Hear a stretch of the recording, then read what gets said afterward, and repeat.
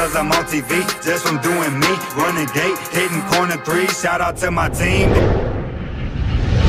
My name is Paul Cunningham. I'm a city councilman on, uh, on the east side as well as I've served as vice mayor for the last five years in Tucson. Uh, this event was set up with uh, uh, Jate Jaconda of the Tucson Buckets, Terry Valani, formerly of uh, Sunnyside basketball legend, but also just a great educator and basketball enthusiast in town. Uh, this, be, this being played at Jesse Owens Park. Uh, in the last three years, uh, the city of Tucson has made a commitment to the revitalization of Jesse Owens Park. We put in $1.4 million to make this park better. We're going to build a splash pad and we're also going to redo the pool next year.